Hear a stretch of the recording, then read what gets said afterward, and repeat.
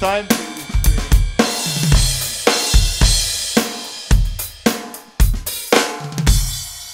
Hey drummers, hope you're well. Just a quick one. Shout out to superstar channel member Jason, who is playing with us today. This is a simple old classic. One of my favourite drummers ever is Manu Katché, beautiful drummer, and he uses this fill a lot, especially on Peter Gabriel, Secret World, which is probably the album I've listened to well, in the top five albums I've listened to the most over and over again.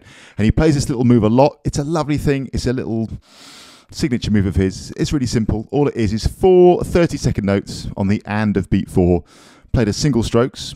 Typically, in his case, not always, but typically it leads to a splash cymbal on beat one. So that's one of his, again, one of his sort of signature sounds, I would say. So let's just take a real simple version of it. One and two and three and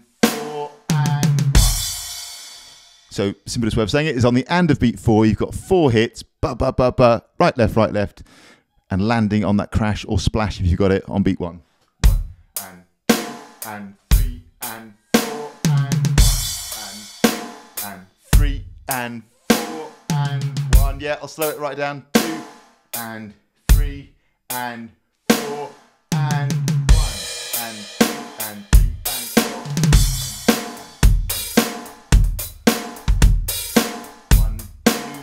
This time, one and two and three and four.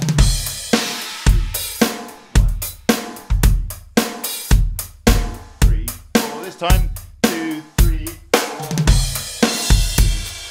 One, two, three, four. One, two, three, four. This time. One,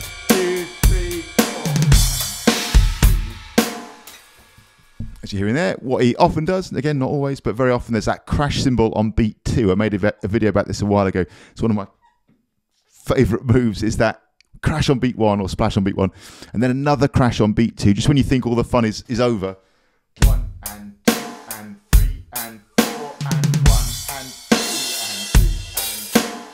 So optional extra as you hit the snare drum when you've resumed the groove again on beat two, that backbeat snare drum on two, another crash with that.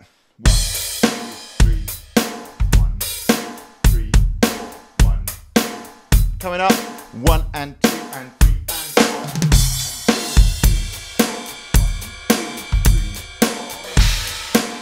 coming up.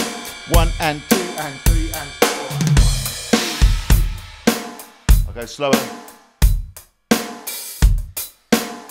Okay, this bar coming up. One and two and three and four and one and two and three and four.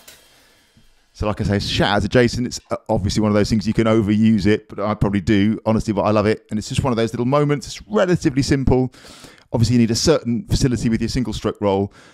But as Jason was saying today, the, the cool thing is you don't need to be crazy fast because it's not very long. So as long as you can get those four notes out, you're in business. It's not like you've got to sustain it for ages and ages. Just that little burst. What a lovely moment. It's just, it's why I love Manu Katché's, Manu Katché's playing. He's just got those lovely little moments of energy. And he just has this sort of sprightliness and this, this, this vibe, this feel, this energy that just, you can't take your ears off it for one second because there's always something exciting happening. It's very exuberant, very sort of, Know, I feel like it's very celebratory, very sort of, you can hear his enthusiasm for music and drumming in it, and I love it. It's such, such delightful playing.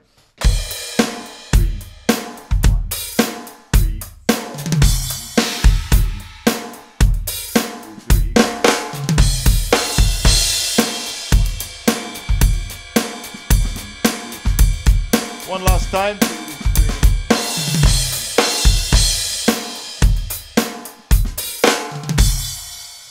Like I say, shout out to Jason and um, notation.